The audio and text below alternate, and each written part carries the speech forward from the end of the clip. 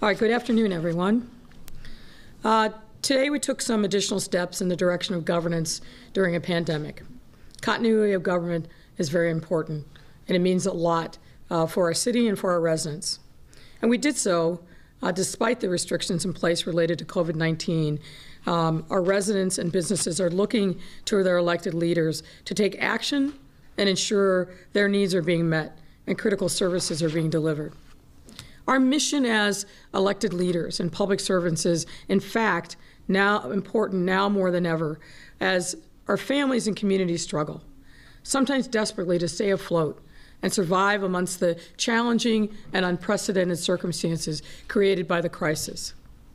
What I believe today is as much as ever that residents want to believe in the legitimacy of their government that the people they elected to represent them are working every day for the common good, and that they have confidence in their government uh, that we can get the job done, even in the midst of great challenge. And there's no challenge that's greater than this pandemic. What we also saw today was two stark differences in that effort. On one side was a vast majority of our city council members who understand the seriousness of this moment and the urgency um, and how we need to be laser focused in supporting our residents and businesses who are desperately in need, who understand, as I do, that we need to act swiftly and boldly to help our fellow Chicagoans who are literally sick and dying, and do everything in our power to support our communities uh, who are struggling. However, we also saw the other side of council, made up of a small handful, who decided to use this moment of crisis to grandstand. They stuck out like a sore thumb, choosing to serve themselves instead of their residents who elected them, choosing to put their own selfish interest ahead of their city and their communities. And it is selfish, and it's also shameful. And it is an utter contradiction to the spirit of public service that you see the vast majority of city council members display. And I am personally embarrassed that one of those individuals is the alderman who represents my ward, the 35th. This is exactly what voters voted against just 12 months ago. The politics of elected officials putting their own selfish interests ahead of the people that they serve. People who need leaders to be responsible and steady always, but particularly in times of crisis. What you saw today is exactly the kind of politics I have fought against in my campaign, and I will continue to fight against every single day that I am mayor of this great city. Of course, let's have a robust debate. That's what democracy should be about. But, dear Lord, in the middle of a pandemic where every day life and death are hanging in the balance, enough with the selfish political stunts. Our residents deserve better, and I'm never going to stop fighting for them. The reality is that the ploy of these grandstanders changes nothing. It only needlessly delays the business of the city for two days and underscores exactly why we need an emergency order in the first place. Working in partnership with council leadership, particularly Chairman Dow and Floor Leader Villegas. This ordinance, in essence, codifies the executive order we enacted last month when we couldn't meet as a deliberative body to ensure a coordinated citywide response to deploy resources and services when they're needed, where they're needed. The ordinance will ensure that we have the ability to draw upon emergency contracts, services, and supplies throughout the duration of this crisis. But and this is an important qualification, only for a limited amount of time.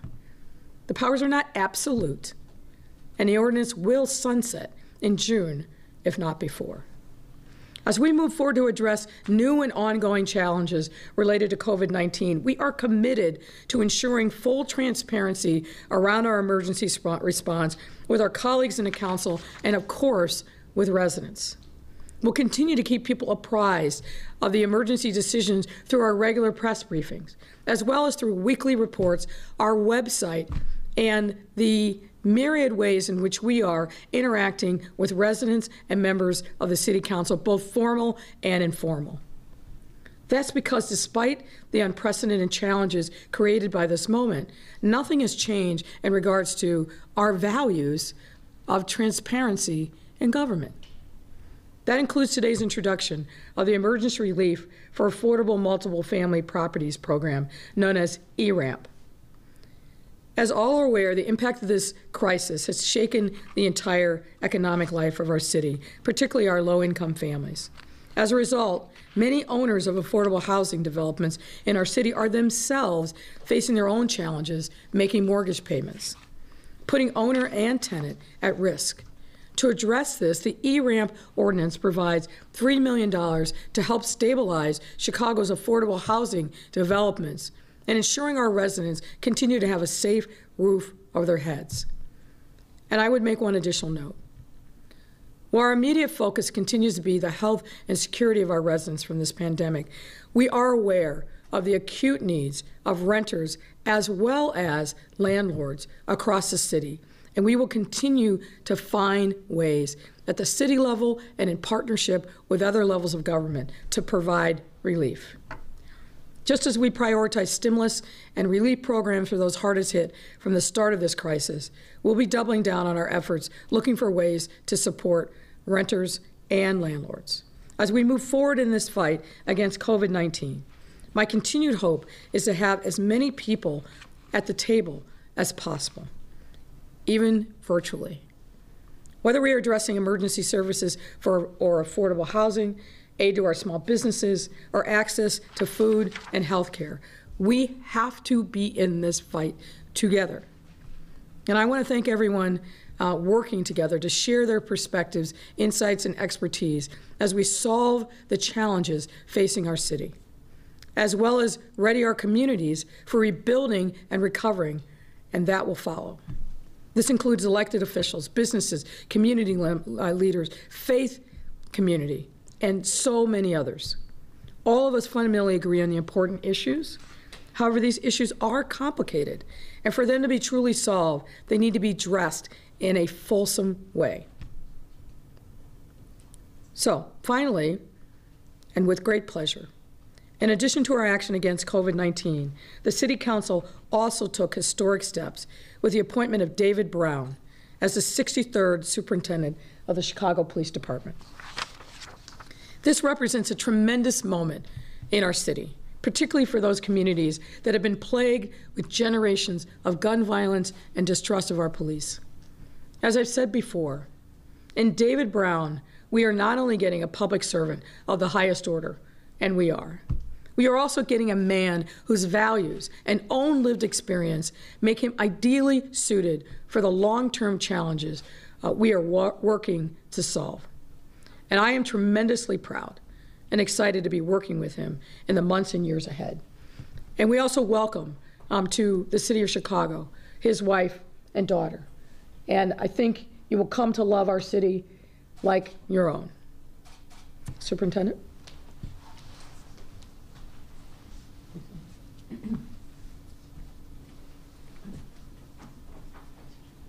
Uh, please place your left hand on the Bible and raise your right hand and repeat after me. I, David O'Neill Brown, I, David O'Neill Brown, having been appointed to the office of Superintendent of Police for the City of Chicago, having been appointed to the office of Superintendent of Police for the City of Chicago, do solemnly swear that I will support the Constitution of the United States. Do solemnly swear I will support the Constitution of the United States. And the Constitution of the State of Illinois, and the Constitution of the State of Illinois. and that I will faithfully discharge the duties of the office of Superintendent I will of Police. faithfully discharge the office of Superintendent of the Chicago Police Department according to the best of my abilities. according to the best of my ability. Congratulations. Thank you, Mayor. Let me do this. Congratulations. Thank ladies. you. Yes.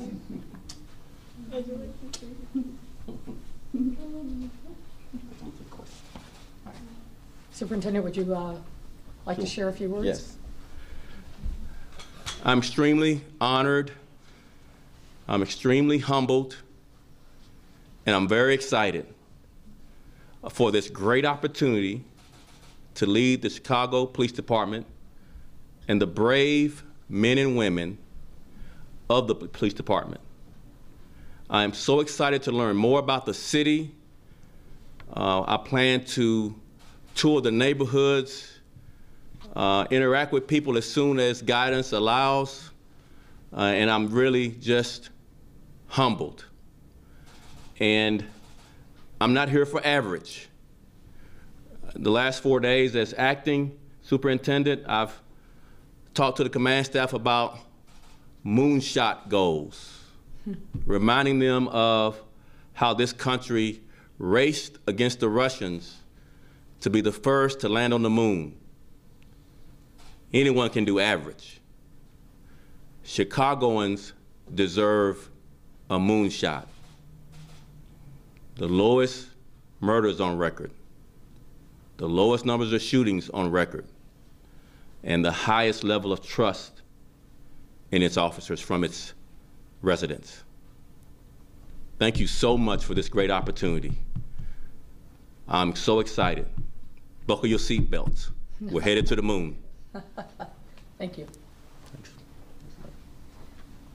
And at this time, uh, I'm happy to take a question. Welcome back, Dana. Thank you. Good to be back. Um, Mayor, this one is from me. Um, You, you just a few minutes ago talked about understanding um, that uh, many landlords and renters need relief. With that, what do you think of Alderman Matt Martin's uh, rent abatement proposal or ordinance, which I know wasn't read into record yet, but which many lo- landlords in particular have concerns about? And if you're not in favor, do you have any specific thoughts on helps for, on help for both sides? Well, look, uh, you know, it's no secret, and I've said this many times myself, that people all over the city are really facing significant challenges. And if you listen to um, some of the commentary during the public comment uh, period today in City Council, a number of landlords um, and related uh, organizations really spoke up. The challenge is the mortgages. The landlords, many of whom maybe own one or two buildings, these are not huge commercial uh, properties that have a huge cash reserve. These are folks who had some liquidity, invested in a building or two, and are now dependent upon that revenue stream uh, from the rent to be able to pay the mortgage, their utilities, the taxes, and all the other things that go with owning a property, which are significant. So what I've said from the very beginning, of course, we need to help the renters. That's why we stood up a $2 million fund to help both uh, people struggling to meet uh, rent as well as their mortgages. But we need to continue to press at the federal level, the federal government to give relief, and in particular to press the banks um, to give some relief to mortgage holders. Because if we don't do that, and we only solve one part of the equation, we're going to cause undue harm on other people that are also part of this eco stream of mortgage and landowners and renters.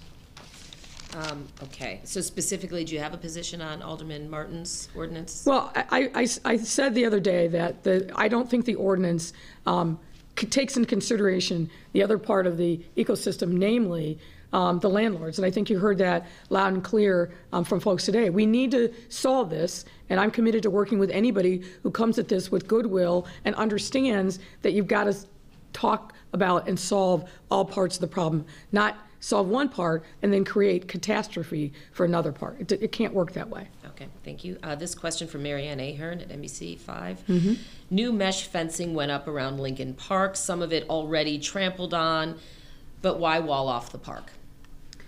Well, unfortunately, what we continue to see is some, some folks who are not abiding by the stay-at-home order.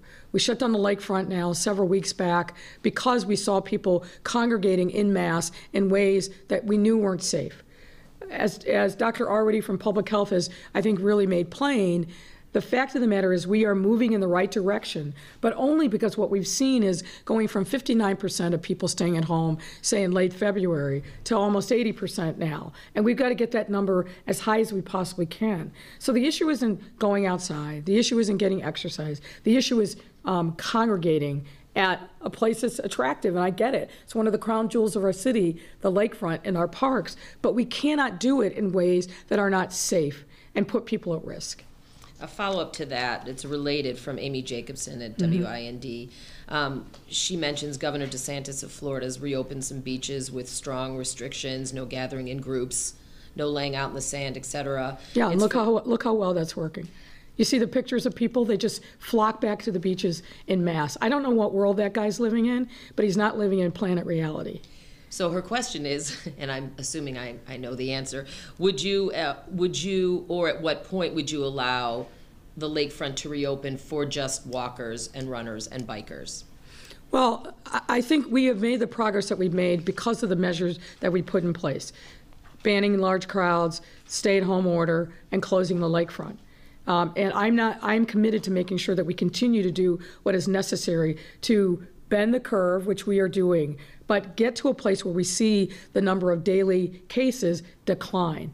And until we see that decline significantly and we see the hospitalizations go down, we see a decline in the number of ICU beds that are occupied by uh, COVID positive or people under an investigation, it is way too soon to talk about opening up anything else, in my view.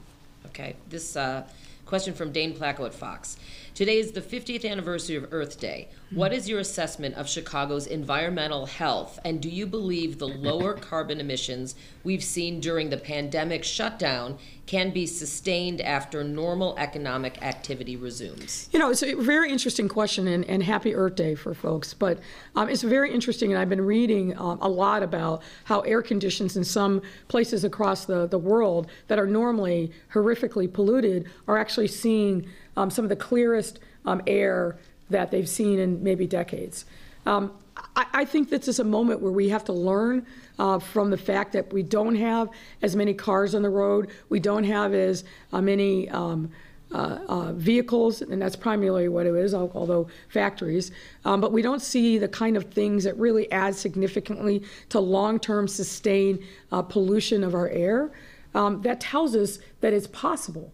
So we've got to be resolved to make sure that pandemic or no, that we do everything possible to try to improve the quality of life.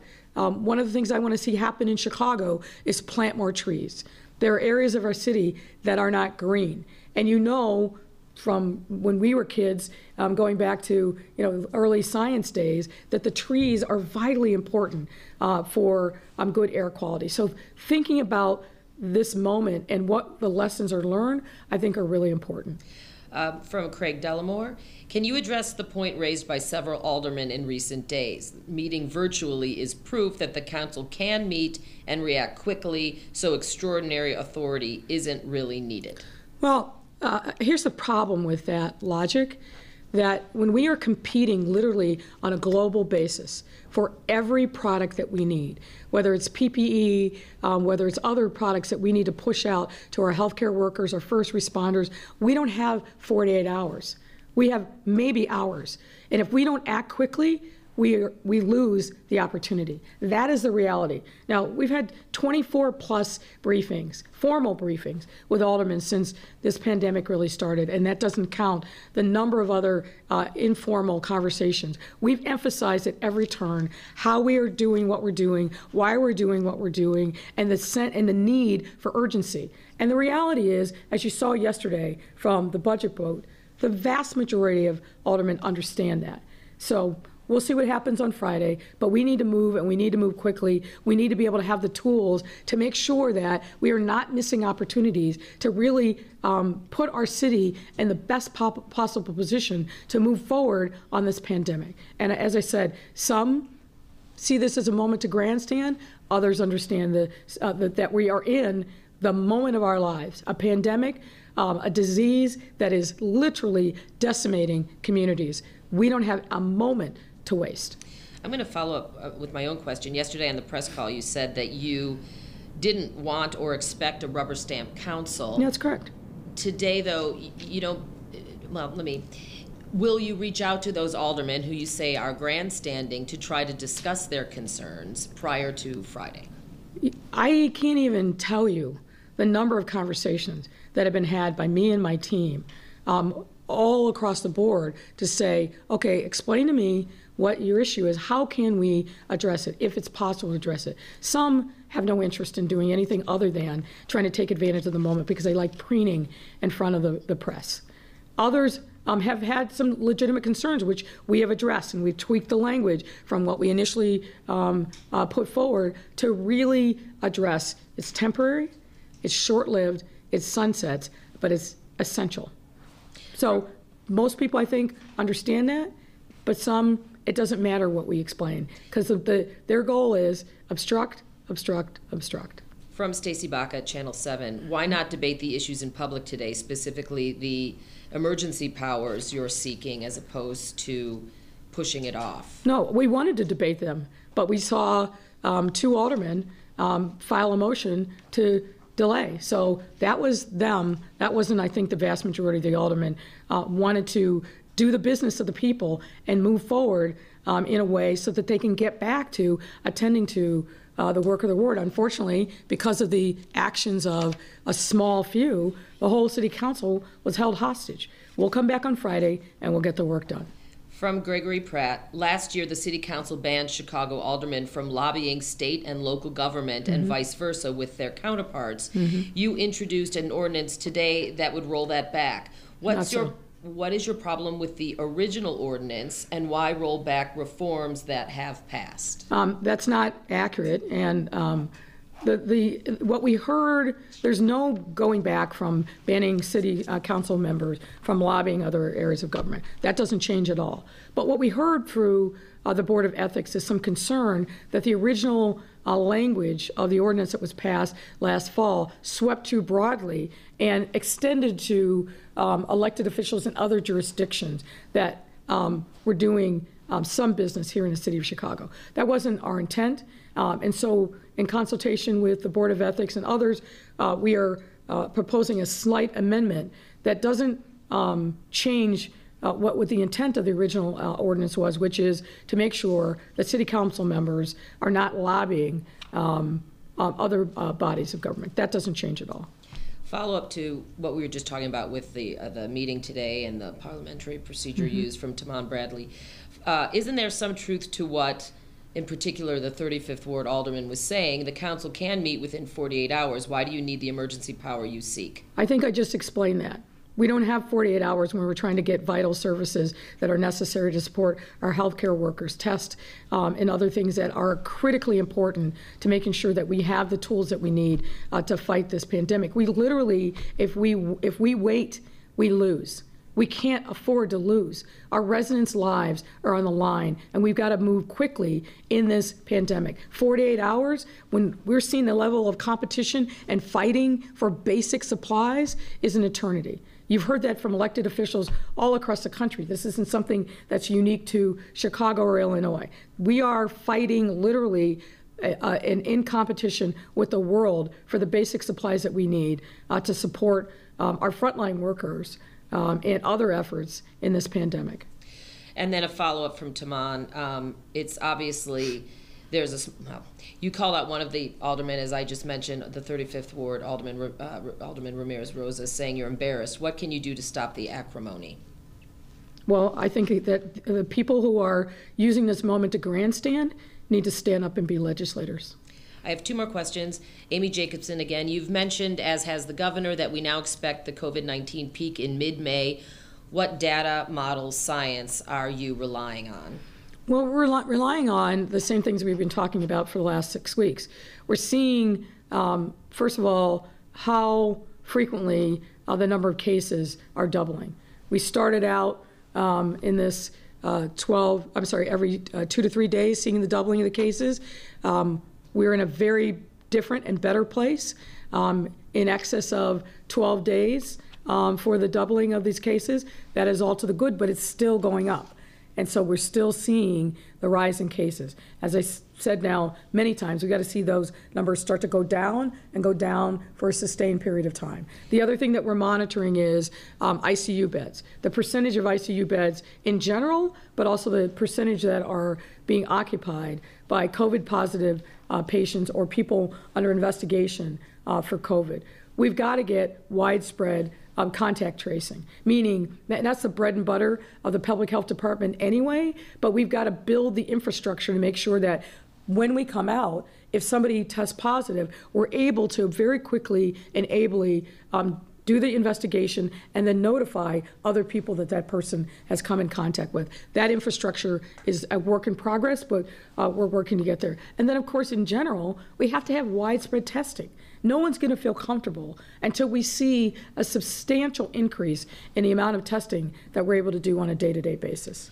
And finally, um, yesterday, you, the city announced it's canceled big city events through the middle of June. But I've had many, many people reach out, so this is kind of a viewer question, um, and ask, what about the Pride Parade?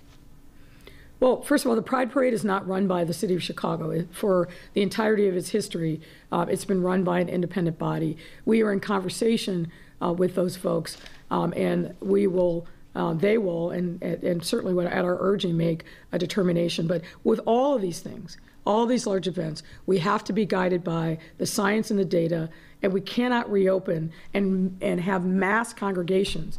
And you know the Pride Parade, it attracts people from really all across the country, certainly um, all across our region, literally millions of people.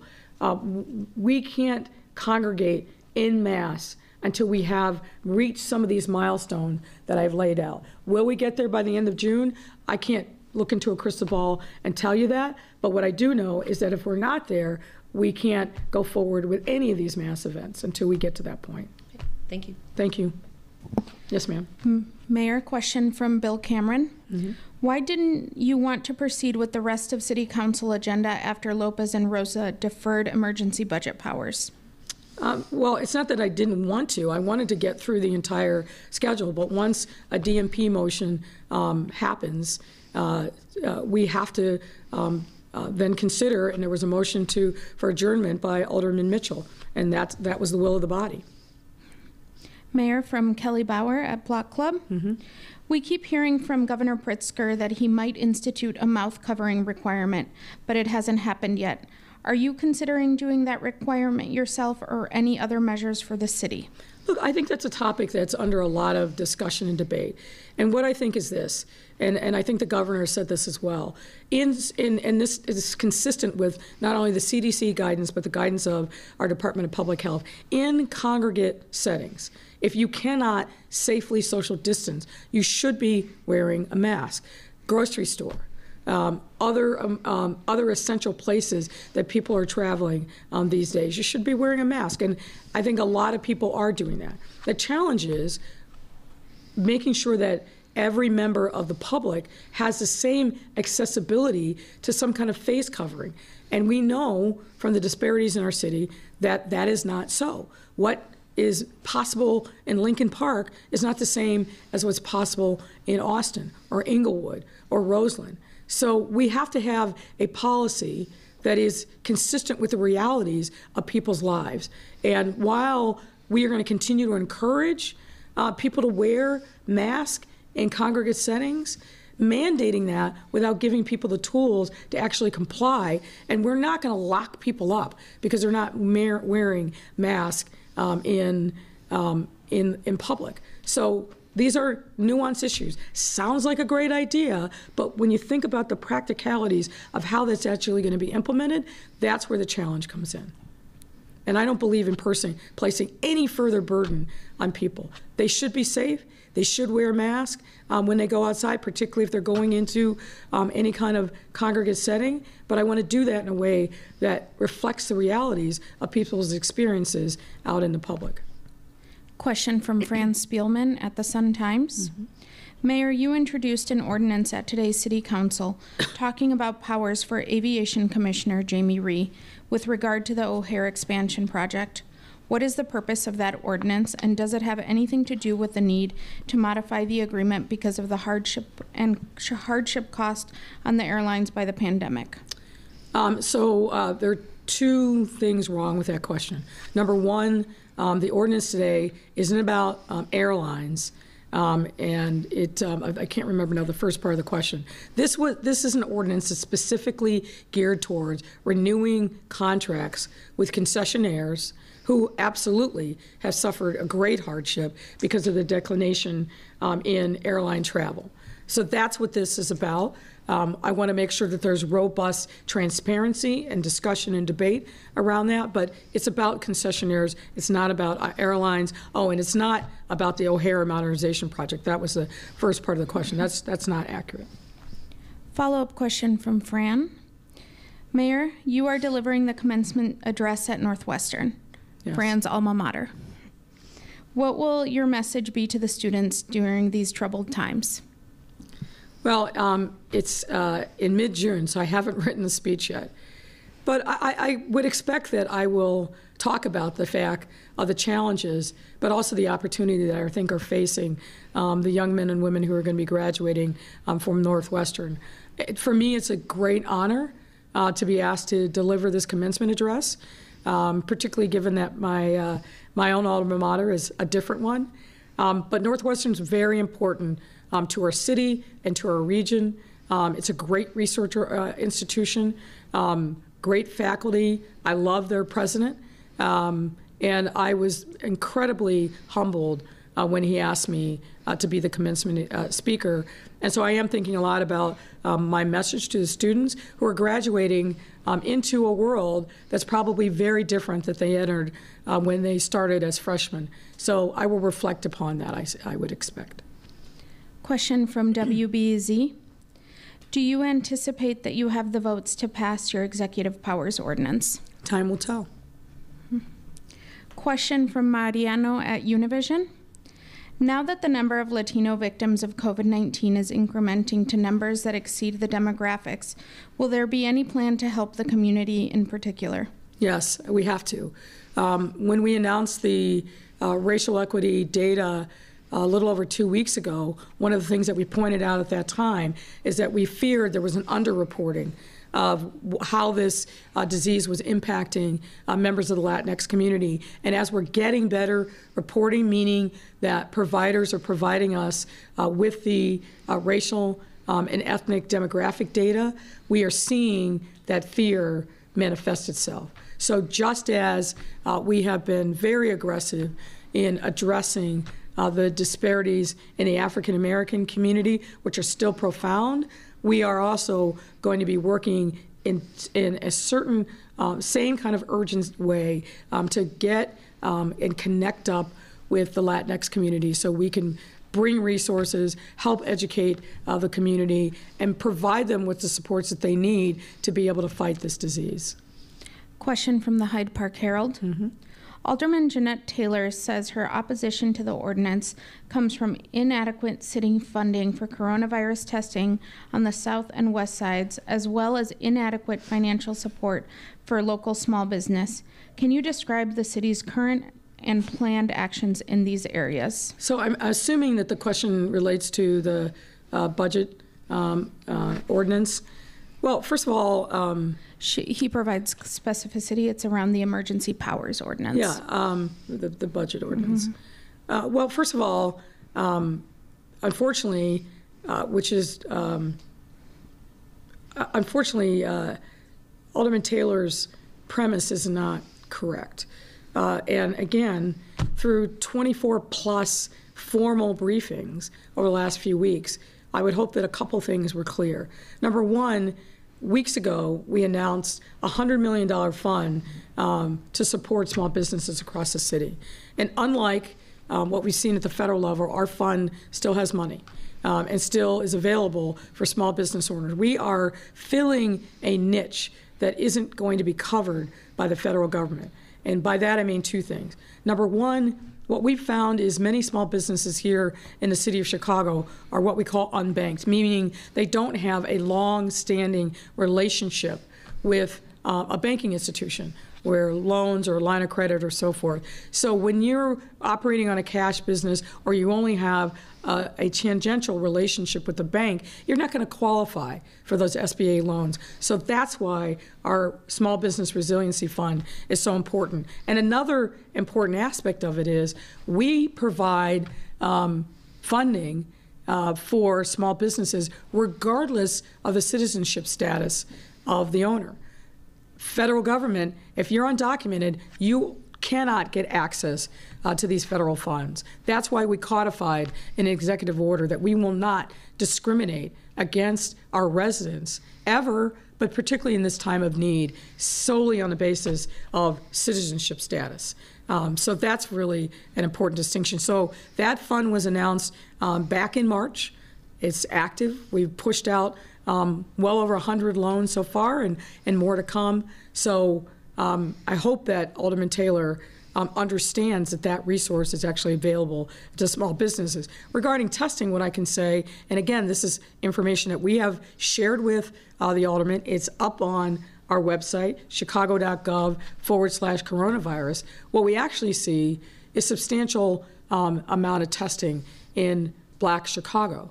Um, now, there's a lot of reasons for that, but the city certainly isn't um, sitting on its hands. Every single day, myself and or Dr. Arwady, our public health commissioner, talk extensively about the need for testing. And we are leaving no stone unturned to expand the amount of testing uh, that's available in the city. And if you look at where we started to where we are now, we've increased the amount of testing exponentially, but we still know we've got a lot more to do. And it's not um, for the city to control it. It's not like we've got a stockpile of tests and we're not using them. We are trying to get the test here in um, Chicago so we can expand the footprint of people who are getting access to testing. And testing is one of the milestones that I said that we have to reach widespread testing before we can safely come out of where we are now with the restrictions on uh, people's movements. Question, follow-up question from Heather Cherone on the ethics ordinance. Why wasn't Ethics Committee Chair Alderwoman Michele Smith consulted for the proposal? I don't think that that's accurate. And last question from AD Quig at Crain's. And, and by the way, oh, you're talking about Michele Smith. I don't think that's accurate, but I, I heard Michelle Harris. Um, but I don't think that's accurate either. Last question from AD Quig at Crain's. Senate Majority Leader Mitch McConnell says he favors allowing states to declare bankruptcy instead of giving them a federal bailout.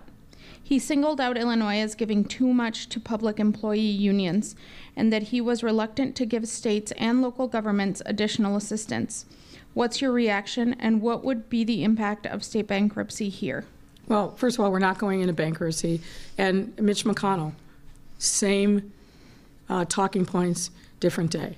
It's what we've come to expect from a person who doesn't have a sense of urgency, who doesn't care about anything other than a crass political agenda. Same old, same old from him. Thank you, everyone. Thank you.